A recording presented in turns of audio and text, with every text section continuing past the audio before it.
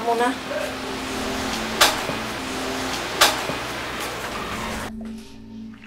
Makailang ulit sinuyo ni Ernel si Grace pero hindi raw kumbinsido si Grace. Sinusundo na kita. Sumama ka na sa akin. Hinahanap ka na ng mga bata. Huwag kang mag-alala. Nag-iipon lang ako. Kukunin ko sa'yo mga bata. Ayoko. Gusto ko sumama ka sa akin. Sabi niya, mag-uwi na daw ako. Naghingi naman siya ng tawad, ma'am, pero yung mga yung mga tawad na hinihini, hinihingi po niya sa akin, hindi ko po siya pinatawad. Hindi na mauulit yun. Hindi na talaga mauulit dahil hindi na ako uuwi sa'yo. Kukunin ko sa'yo yung tricycle. Kakailanganin ko yun. Total, akin naman yun. Ako bumili nun. Teka, yun na lang ang pinagkakitaan ko. Yun na lang inaasahan ko para sa mga bata. Pati ba naman yung kukuhanin mo pa? Umuwi ka na. Wala na tayong dapat pag-usapan pa. Grace, hindi ko alam kung anong pwede kong magawa kapag hindi ka umuwi sa atin.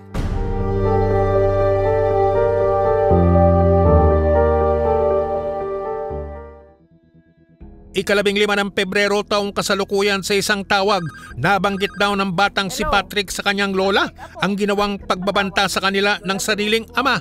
Bakit? Anong nangyayari? Papatayin po kami ni Papa. Ha? Opo, sinabi niya. Kumain yung mama ko, ma'am, wala pong sinilas. Tumakbo po siya ng ano, police station po. Tumakbo po siya, nag, humingi po siya ng tulong doon, ma'am. Agad nagpunta ang mga pulis sa bahay ni Ernel Yan. Magandang umaga po, sir. Magandang umaga naman. Ano ho yun? Sir, nakatanggap po kami ng reklamo. Nagbabanta daw kayo nasaktan niyo ang mga anak niyo. Hindi ho totoo yan. Hindi ko magagawa sa mga anak ko yan. Mahal na mahal ko mga to. Nag-usap-usap po doon ah, kung bakit ah, anong nangyari. Inasas po ng ah, grupo ng police, DSWD, tsaka yung barangay po.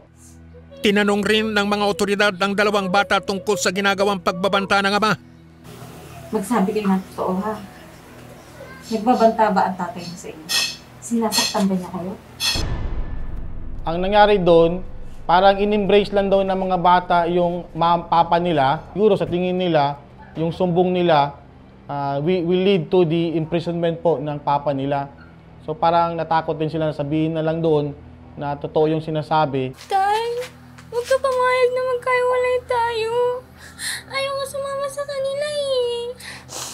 Mom, please po. Okay, yung tatay ko eh. Ang buong akala ni Grace, magiging tahimik na ang lahat. Wala siyang kamalay-malay na mauuwi pala ito sa mas malaking kapahamakan. Ito oh, maganda, yung red.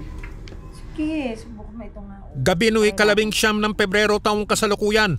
Habang nasa lungsod ng General Santos, tumawag si Ernel kay Grace. Wait lang, wait. Ito ka. Ito si Arnie. Siya tumatawag. February 19 po, tumawag po siya sa akin doon sa ano po, sa cellphone ng kaibigan ko sa Jinsan po. Hello? Sheila, nasaan si Grace? Bakit Arnel? Anong kailangan mo? Sabihin mo kay Grace, sino ang gusto niyang umakusalin? Patrick o si Princess? Ano bang pinagsasabi mo? Pagsisisihan niya kung hindi niya ako babalikan. Hindi po ako makaano ma'am, makasalita. Umiyak po ako ng iyak ng iyak lang po ako ma'am kasi hindi ko po talaga alam ma'am kung kaya niya bang ano saktan yung mga anak ko kasi mahal niya mahal niya yun ma'am eh kasi anak niya ma'am. Hindi. Hindi niya kayang gawin yun. Mahal niya ang mga bata. Hindi niya kayang gawin yun sa mga bata. Sasabihin mo agad sa nanay mo. Magpapunta kayo agad ng pulis dun. Agad ipinalam ni Grace ang pangyayari sa kanyang ina. Kinabukasan, ikadalawampu ng Pebrero ayon sa investigasyong ng mga pulis. Pinaghanda muna ni Ernel ng almusal ang kanyang mga anak.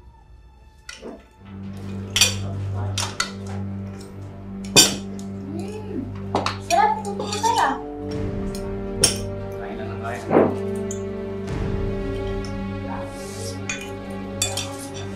Na, tay. Kailan po si nanay? Sinusundo na kita. Sumama ka na sa akin. Hinahanap ka na ng mga bata. Umuwi ka na.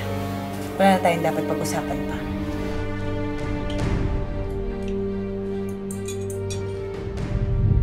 Matapos kumain ay pinatulog na niya ang mga bata. Nang mahimbing nang natutulog sina Princess at Patrick, dito na isinakatuparan ni Arnel ang maitim na balak.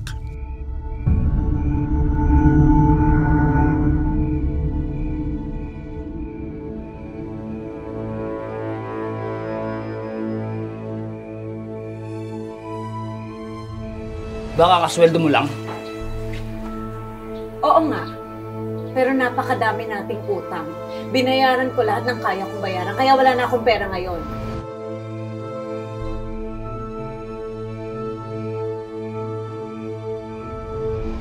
Bakit ka pa umuwi? New Year na New Year, wala ka? Andito ang pamilya mo? Ano ka? Buhay talaga?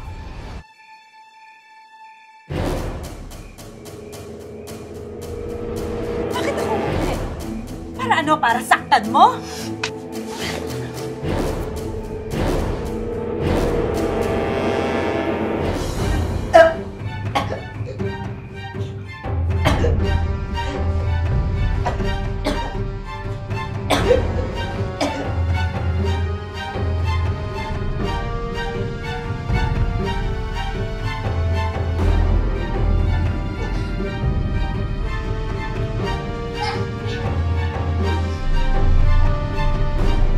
Pinatay niyo yung mga bata. Inuna yung mga bata siguro pagpatay. We cannot establish kung sino inuna sa dalawa. But uh, siguro uh, any of the two po yung inuna niya. Sinakal po ng papa na yung dalawang bata.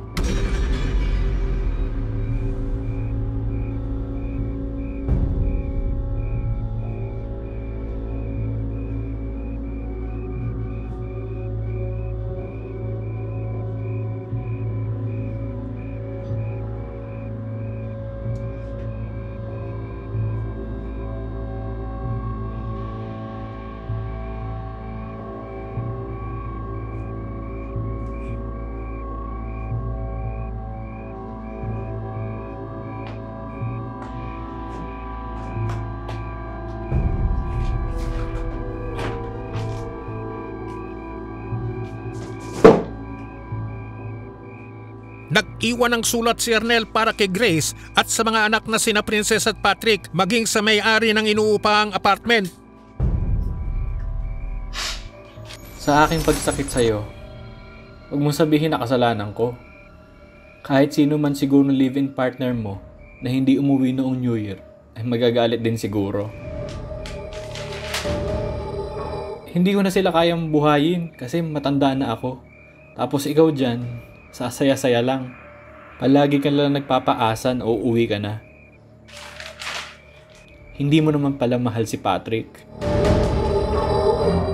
Pasensya na at nakagawa ako ng kasalanan sa poder mo. Hindi ko na buhay yung dalawa kong anak nang walang alalay. Meron nga nanay. Wala namang pakialam sa kanila.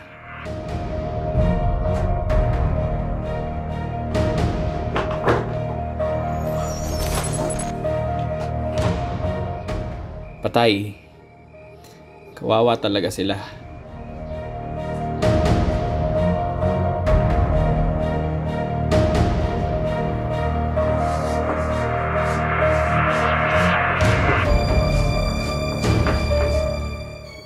pa sana sila mamamatay dahil bata pa sila.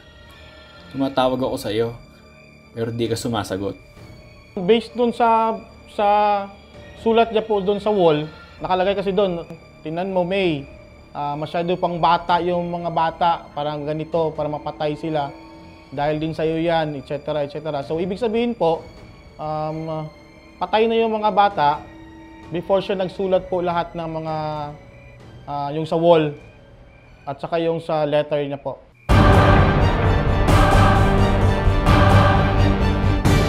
Ayon sa mga pulis matapos isulat ni Ernel ang liham, dito na niya kinitil ang sarili niyang buhay.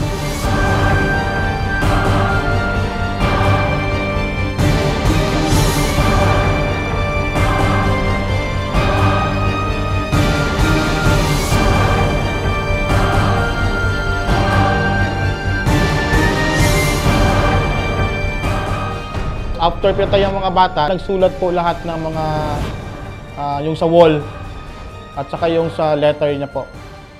Doon niya sinaksak yung sarili niya ng limang beses po.